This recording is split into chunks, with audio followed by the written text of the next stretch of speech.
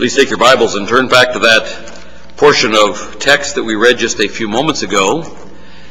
We're in Exodus chapter 14, looking at part 2 of 1,200 flat tires all at once, or is there a manufacturing de- defect lawsuit hidden in the text? You're aware of all those manufacturing defect lawsuits that are going on about automobiles right now. Exodus chapter 14, verses 21 through 31. Now, last week, when we looked at part 1, we learned a number of basic principles which we'll be developing, the Lord willing, a little bit later. But in verse 21, we learned that obedience produces blessing and fulfillment of the promises of God. Verse 21, we also learned sometimes it takes a season for God to answer our requests. Each has part in the fulfillment. God said to Moses, stretch out your hand. When Moses did it, then God acted.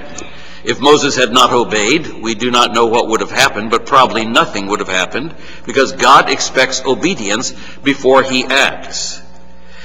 We also learn from verse 21 when part of creation can fulfill the will of God, he uses it. The land was dry after being blown on for the duration of the night. It was dry, it was not mud, and it was not marsh. We also learned in verse 21 that each party does his part.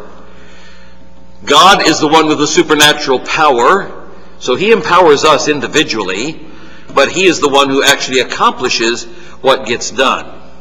Verse 21 also parallels what happened at creation. You remember as we look back into Genesis chapters 1, 2, and 3, we saw light being separated from darkness, and here we have light being separated from darkness, the Shekinah glory standing between the two. We have a parting, a dividing of the waters in Genesis when God created, when he divided the waters that are above the firmament from the waters that are beneath the firmament. So we find here another parallel to creation because God is creating again, except at this time he's creating a new nation, the nation of Israel. All through the Old Testament, every time the formation of Israel as a nation is mentioned, we go back to the Red Sea. God gave promises to Abraham, Isaac, and Jacob, but they weren't a nation at that time. They were a family. And it was the family of Abraham and Isaac and Jacob that went down into Egypt and were there for 400 years and developed into a great people, but they were not yet a nation. They were subservient, subservient slave people. But the crossing of the sea is the point at which God created something new. He created Israel as a nation. Remember back in Genesis 1, 9 and 10, God said, Let the waters under the heaven be gathered together into one place. Let the dry land appear also, and it was so. That's what we got going on here. The waters are gathering together. They're being divided, and dry land is appearing in the midst. And God called the dry land earth, and the gathering together of the waters he called the seas, and God saw that it was good. And what he's doing here is also good. Verse 22, we saw that in the midst, or the middle of the sea on dry ground, they went through. It was not like the liberals say, they waded through the marshes at the north end of the Gulf of Suez. You know, one of the things you can look at whenever you look at a commentary, if you're going to buy a commentary of the Old Testament, go over to the book of Exodus and see what it says about the crossing of the Red Sea.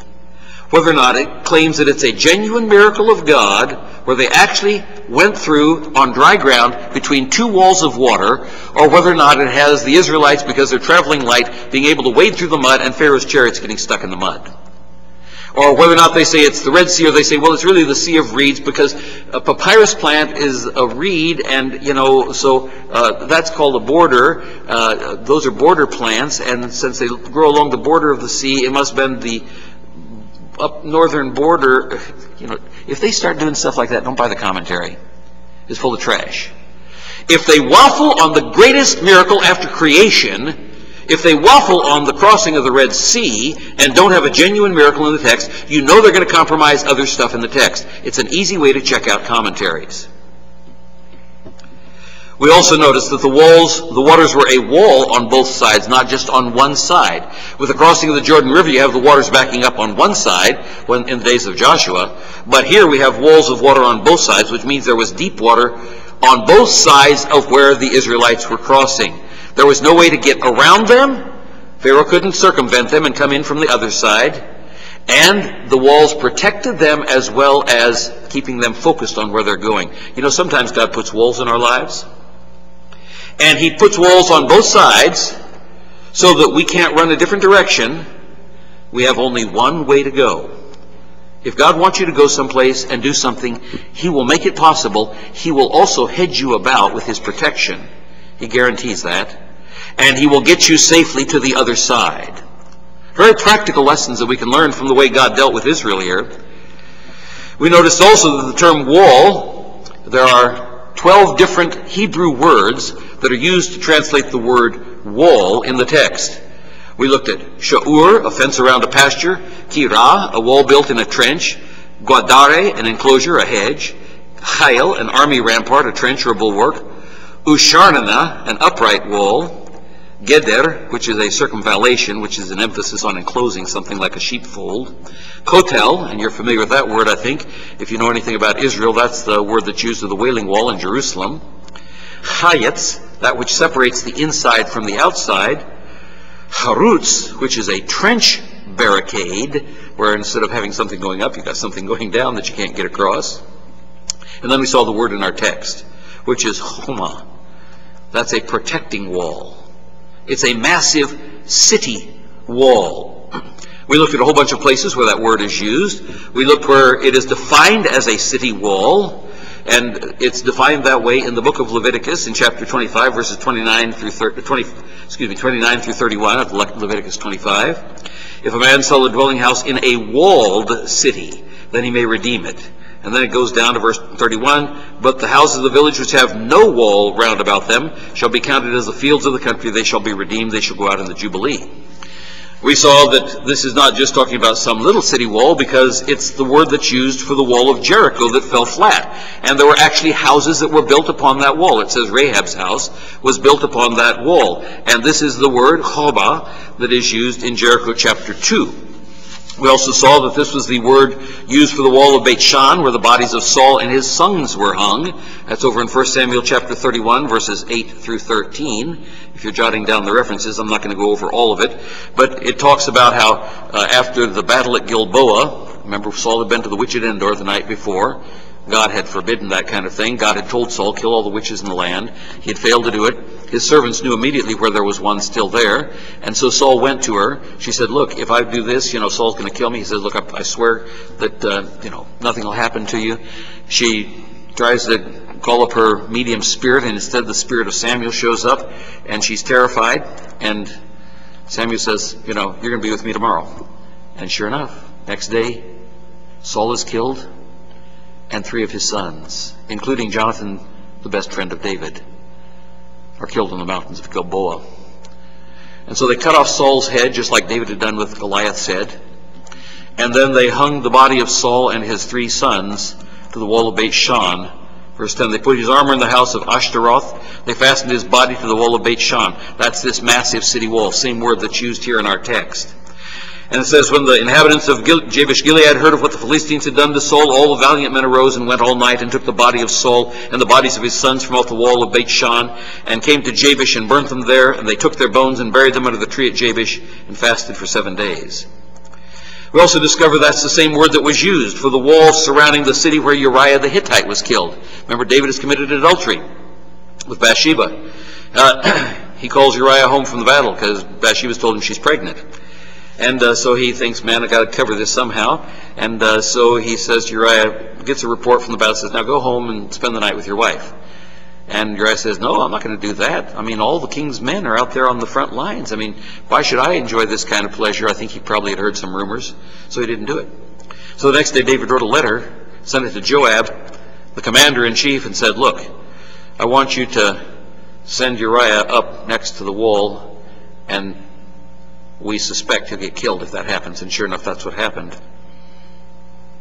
That's 2 Samuel 11.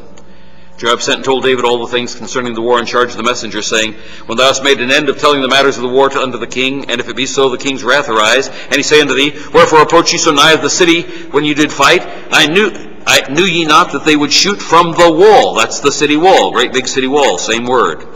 Who smote Abimelech, the son of Jerubbaal? Who did not a woman cast a piece of millstone from the wall, and he died in Thebez? Why went she nigh the wall? Then say thou, thy servant Uriah the Hittite is dead also. The messenger said unto David, Surely the men prevailed against us and came out unto us into the field, and we were upon them even unto the entering of the gate, and the shooters shot from off the wall upon thy servants, and some of the king's servants be dead. The servant Uriah the Hittite is dead also. There's a massive city wall being attacked by an army. That's what the walls of water. Why am I emphasizing this? Because people, you need to understand this is a genuine miracle that is taking place in the Old Testament. God chose the specific word. He could have chosen any of the other 12 words for wall, but he chose the one for the biggest, most powerful, most massive city wall that is used in the entire Old Testament. Walls of water. You're looking up and you're looking up and you're looking up and you can't see the top.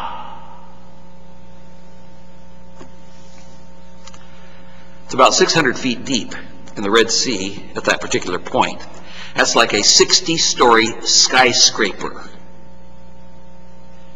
A 60 story skyscraper. Think of the skyscrapers that you've seen. And you look up and you look up and you look up. Now, if you look at them from a distance, you can see the whole thing. But if you're standing here right next to the thing and looking up 60 stories, that's how high the walls of water were on either side of the children of Israel.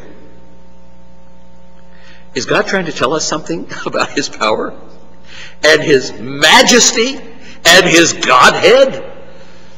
You look at the universe, that's even taller. And that's why Paul says, so that they are without excuse, Romans chapter 1. We see that that was the city wall of Abel Bet Maacah, which was a strongly, heavily fortified city. It's used that way over in 2 Samuel 20, verse 15. They came and besieged him in Abel of Maacah, and they cast up a bank against the city and stood in the trench, and all the people that were with Joab battered the wall to throw it down. That's a city wall. That's it's used of the wall of uh, Jerusalem in the days of Solomon, which was the greatest city wall at that time. 1 Kings 3.1, And Solomon made affinity with Pharaoh, king of Egypt, and took Pharaoh's daughter, and brought her into the city of David until he had made an end of building his own house, and the house of the Lord, and the wall of Jerusalem round about, Homa. I mentioned just in passing last week, but the principal theme of the book of Nehemiah is about the city wall of Jerusalem. That's the word, Homa, a protecting wall, a massive city wall. It's the only word used for the wall of Jerusalem in the book of Nehemiah. Chapter 1, verse 3 They said unto me, The remnant that are left of the captivity there in the province are in great affliction and reproach. The wall of Jerusalem is also broken down, and the gates thereof are burned with fire chapter 2, verse 8. And a letter unto Asaph, the keeper of the king's forest, that may give me timber to make beams for the gates of the palace, which appertain to his house, and for the wall of the city, and for the house that I shall enter into. And the king granted me according to the good hand of my God. I have many, many verses here that I've written out of Nehemiah. We won't go over all of them, but read through the book of Nehemiah. Every time you see the word wall, it's Homa, the same word that is used for the walls of water that stood on either side of the Jews as they crossed the Red Sea. So remember now, we are here in our text in Exodus today. Six million people, and I think that's a minimum, six million people were clearly not wading through the mud of a swamp.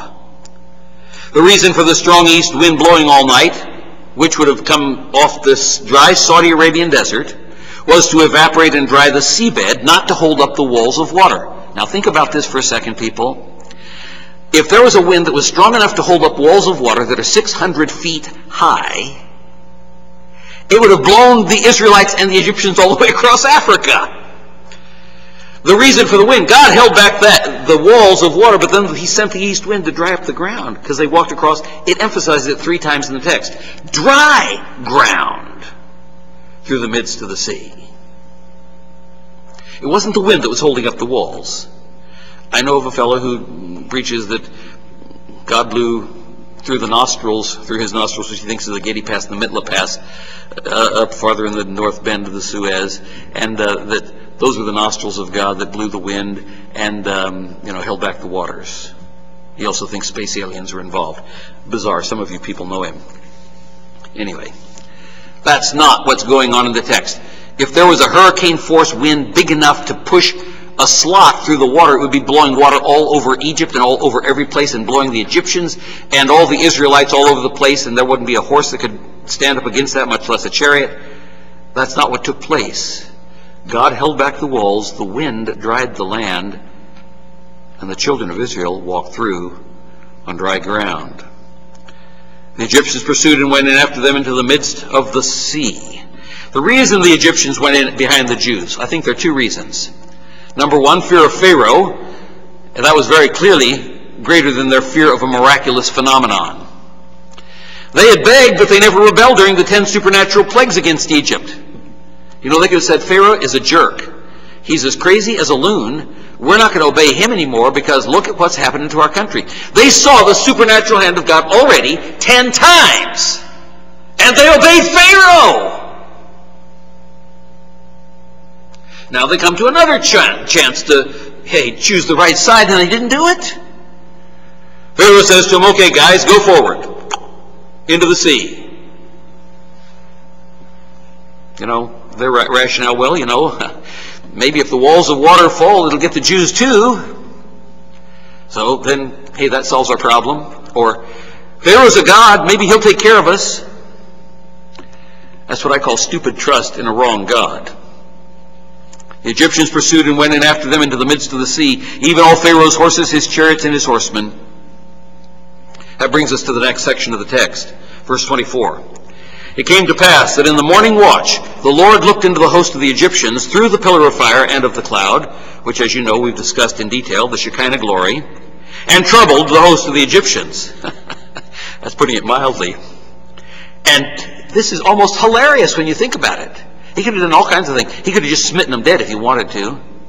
But he was going to make a point.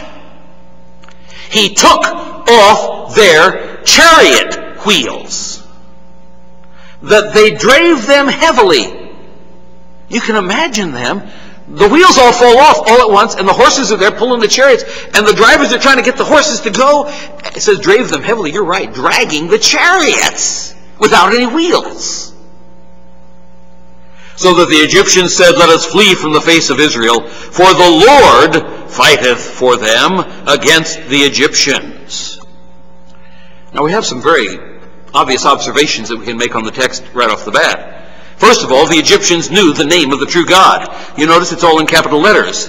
The Lord fighteth for them against the Egyptians. L-O-R-D. When you see all capitals, that's the name Yahweh, sometimes translated Jehovah, but Yahweh.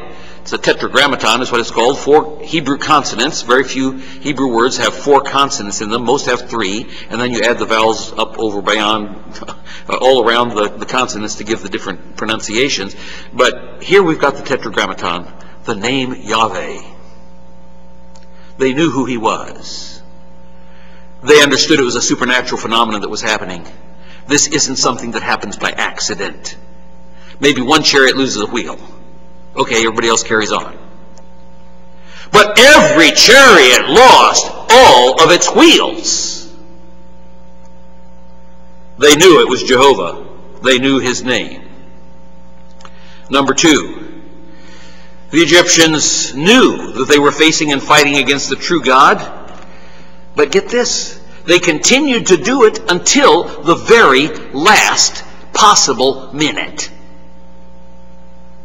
Nothing had deterred them up to that point.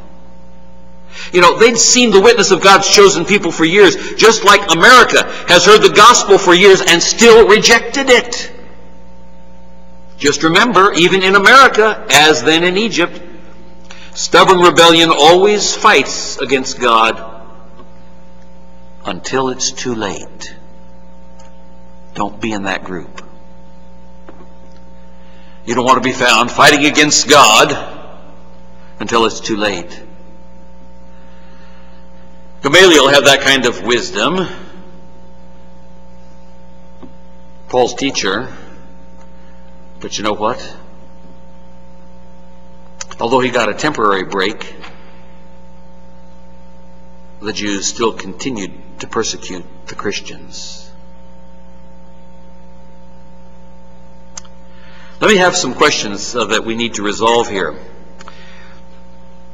You know, if you're going to talk to the liberals about the text, they're going to scoff and mock at you on the issues that I'm going to raise right now.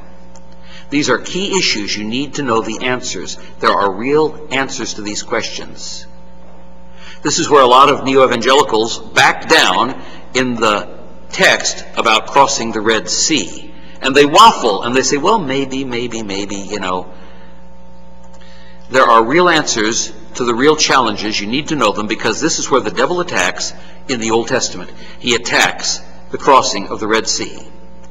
Because Satan hates Israel. He doesn't want a miraculous beginning for the nation of Israel. He doesn't want a miraculous crossing the Red Sea. He wants you to think God's word waffles. He wants you to think God's word waffles at creation, that God used theistic evolution perhaps, or threshold creationism, or some of those other compromised positions, and didn't actually create in six literal days.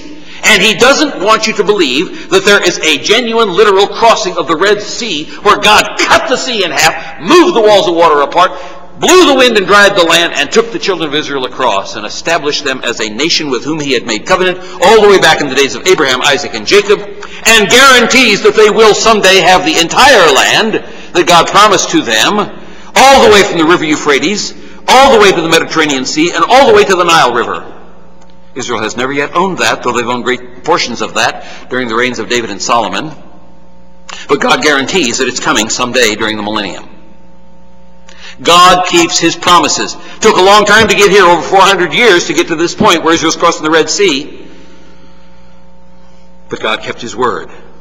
And God will continue to keep his word to national Israel. The church is not Israel, and Israel is not the church. God is keeping his word to Israel. It was a nation reborn in a day back in May of 1948. And now it has taken its place as one of the leaders in the world. Oh my. Join us when we start studying the book of Revelation. There's some exciting things there. But I got to get back to the text. So here are the questions. First of all, how many chariots were there? Uh, chapter 14, verses 6, 7, and 9. He made ready his chariot, that's Pharaoh, and took his people with him. And he took 600 chosen chariots and all the chariots of Egypt and captains over every one of them.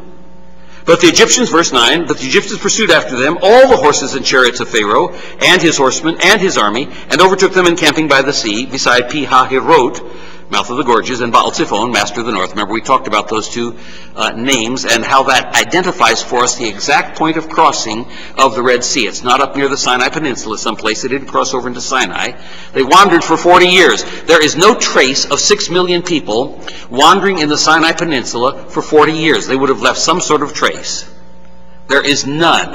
And if you look at your liberal maps in the back of your Bibles, even the conservative Bibles have the liberal maps in them, shows the going down towards St. Catherine's Monastery, down at the Jebel Musa, down to the point of Mount si- uh, of the Sinai Peninsula, then coming back up again. Question marks all the way along the way. They write in all the names, but they have question marks because there is no evidence of any of those sites.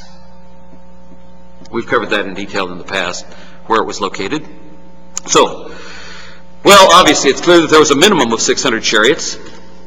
But I think this appears to be a statement of the elite personal chariot guard of Pharaoh. Egypt at that time was the world's superpower and would have had many more chariots than 600 chariots. Can you imagine the United States today having 600 airplanes?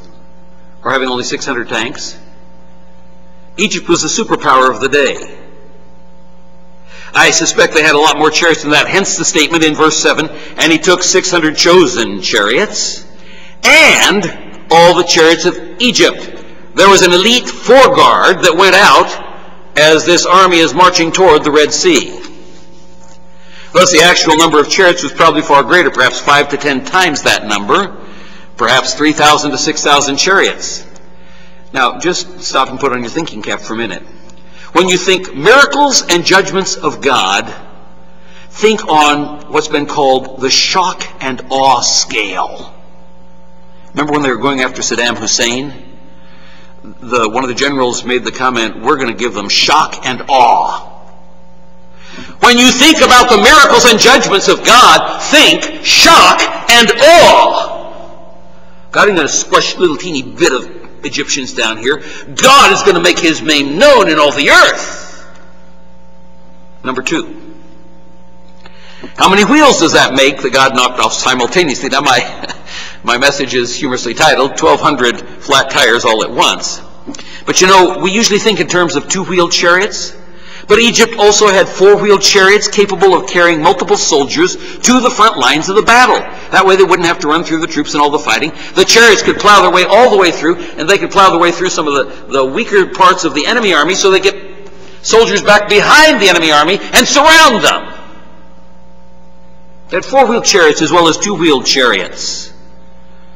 If all the chariots were two-wheeled, and if only 600 chariots of the personal guard entered the sea, that's a minimum of 1,200 wheels that had simultaneous flat tires. If there were 3,000 to 6,000 two-wheeled chariots, that's 6,000 to 12,000 wheels that fell off all at once. That in itself is a miracle. It's not planned obsolescence, where everything falls apart at once. We got that in our manufacturing today, where things just wear out because they know they could make them last longer, but they want you to buy a new product, so they only let it last so long. If all the chariots were four-wheel chariots, that gives a whopping maximum number of 24,000 wheels that fell off simultaneously. If you have two to four horses pulling even 600 chariots, you have 1,200 horses. Huge animals, suddenly in total panic. Imagine the maximum number, if every chariot had four horses, that's nearly 100,000 maniac horses who've gone insane. You think anybody got trampled?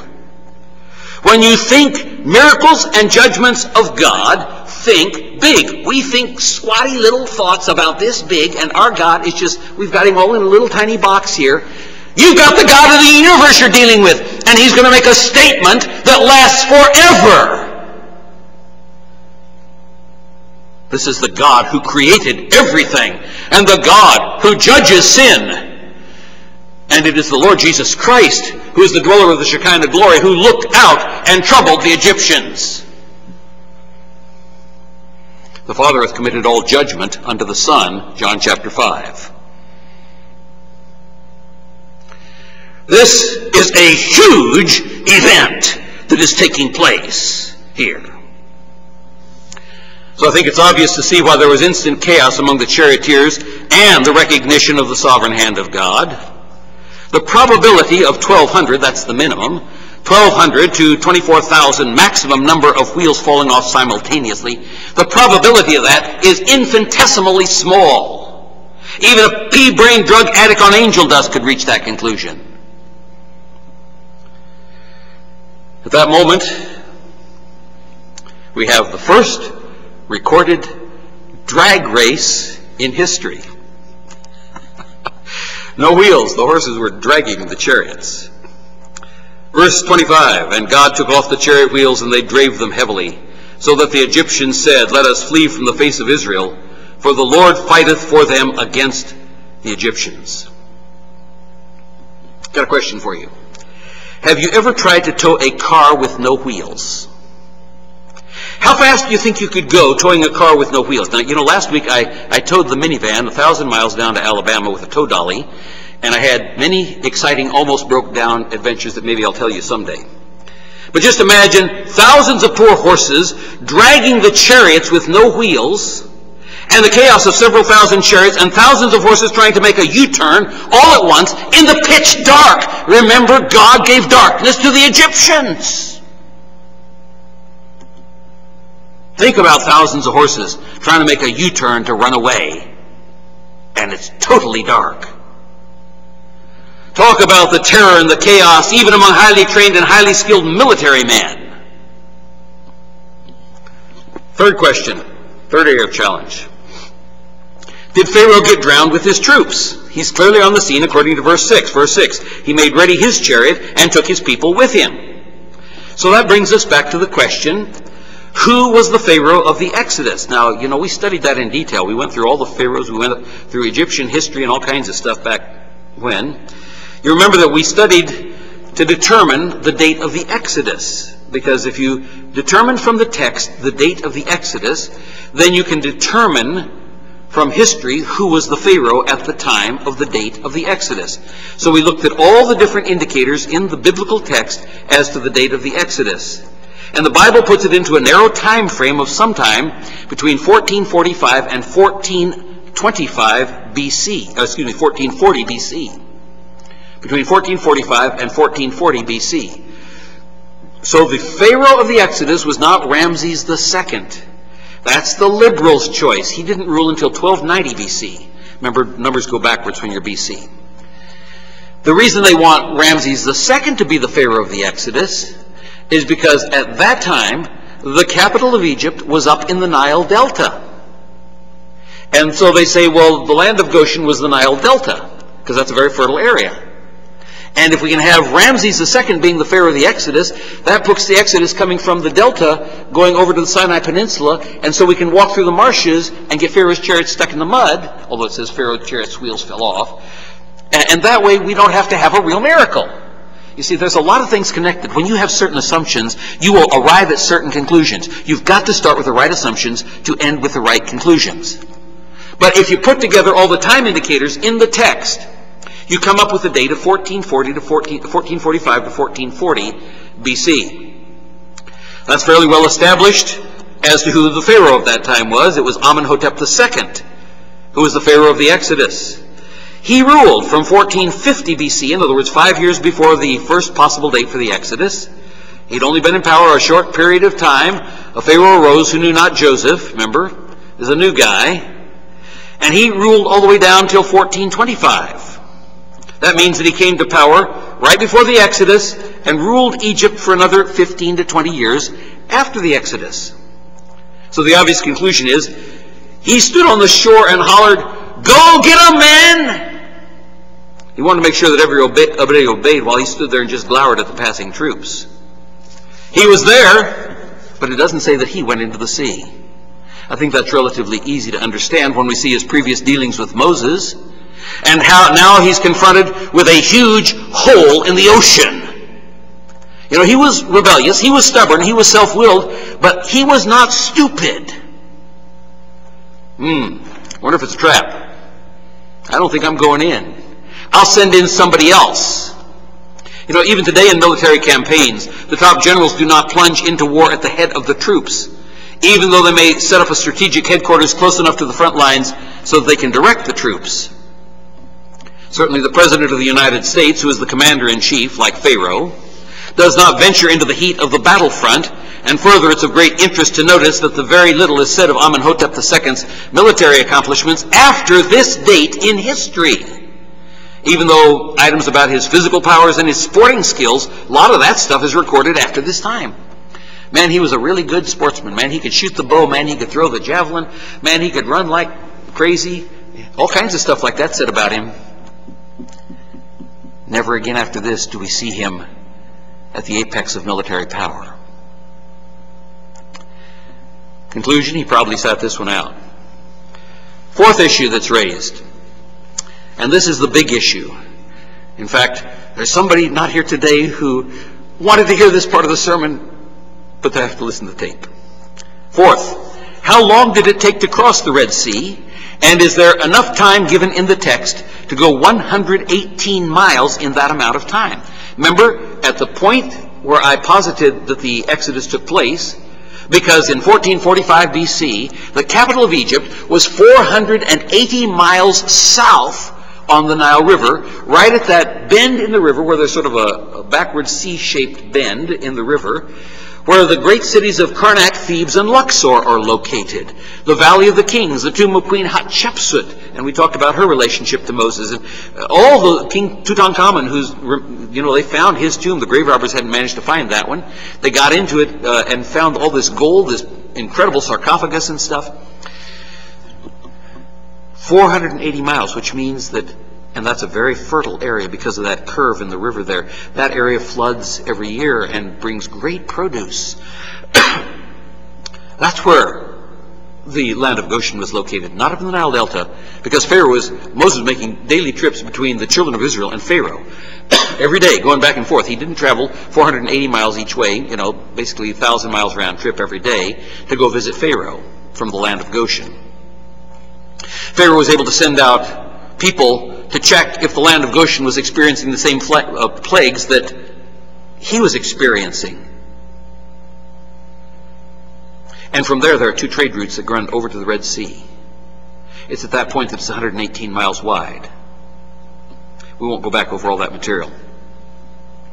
So it's 118 miles wide. That's what it is today. It might not have been quite as wide back in 1445 BC because beach erosion probably has made the sea wider in the past 3,500 years. But for the sake of argument, let's use the larger figure of 118 miles.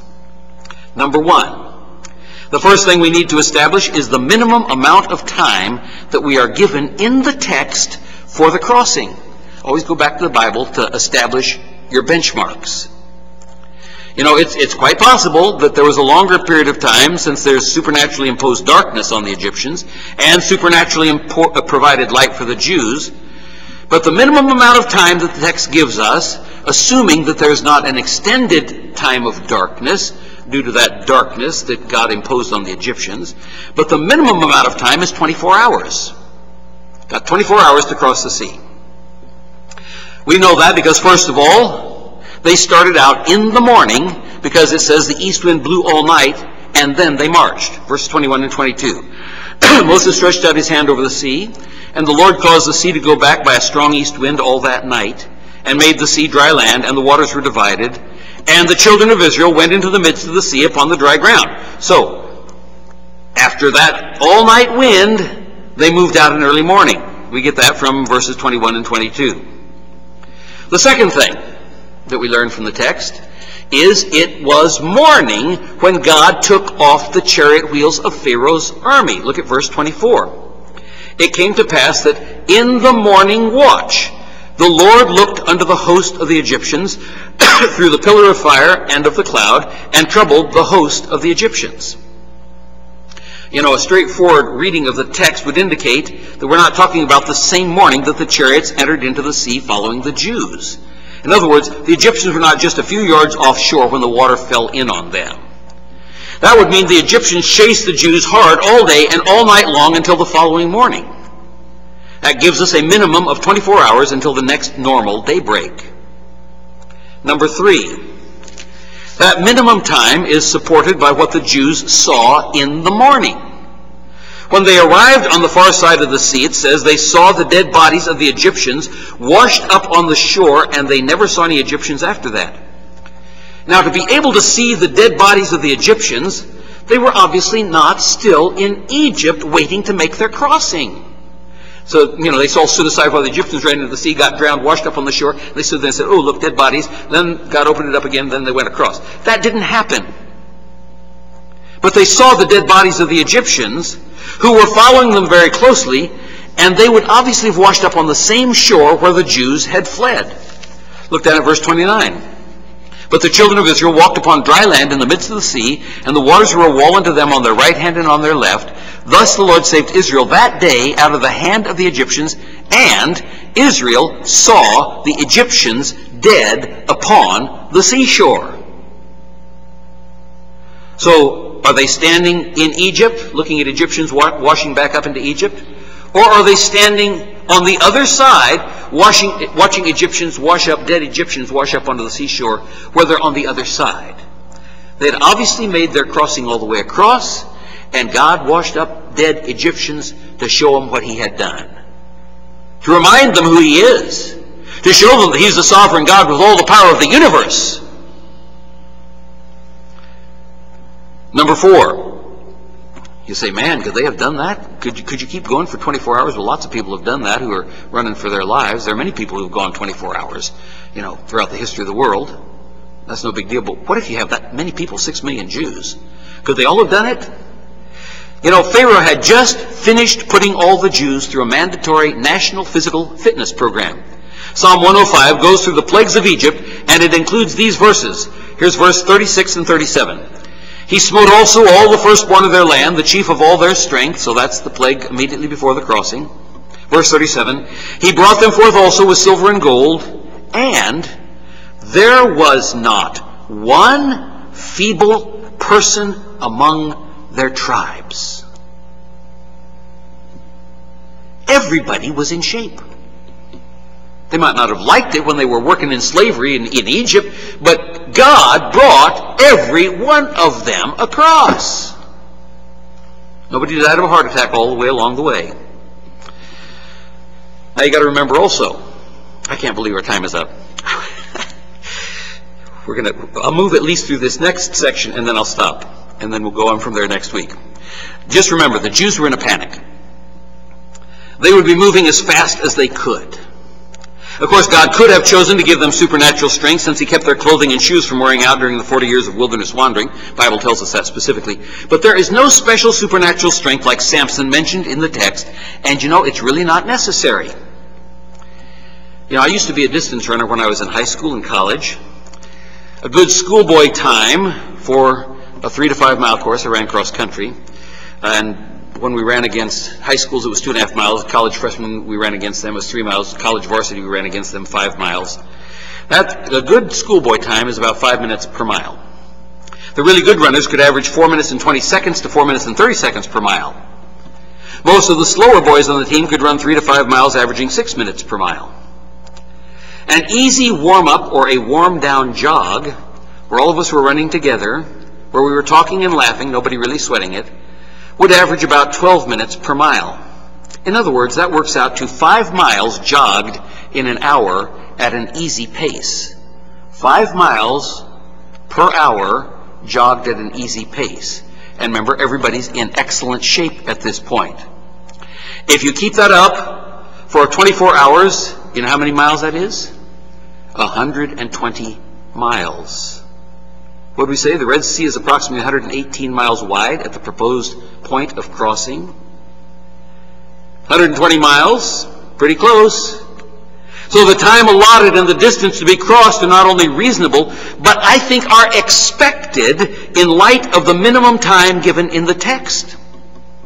If you assume more time, for example, if you assume that supernatural darkness was imposed for an extra day in there, if you assume 48 hours instead of 24 hours, since you have a morning starting point and a morning ending point, everybody could have easily walked with no rush in that amount of time. Remember, the Jews were in prime physical shape according to the inspired text, and they were clearly scared out of their wits. Their adrenaline was pumping. The fear and flight response was in high gear. The noise of thousands of screaming Egyptian warriors on their heels. Giant walls of water on both sides. They were traveling lights. Mothers hugging their babies. Dads and teenagers helping the little kids. Only one way out, straight ahead. Nobody stopped to smell the roses or the dead fish. They couldn't see the Egyptians, but they certainly could hear them stomping at their rear. Remember, after creation, this is the principal miracle of the Old Testament and the Bible repeatedly refers to the Exodus as the point at which God brought Israel as a nation into existence. Our gracious Heavenly Father, we thank you once again for the privilege of studying your Word. It's exciting because you are the God of shock and awe when it comes to power and judgment. You are the God who makes his point so that all the world might know that you are God. We worship you. We honor you. We adore you. We thank you that you have provided a hedge of protection for us, a wall on every side to keep the enemy from us. We pray that we might learn to walk by faith through the place which seems impossible with the one opening that you've left for us to go and that we might walk quickly with confidence in obedience to your word. Father, we commit this to you in Jesus' name. Amen. Our closing hymn for today is number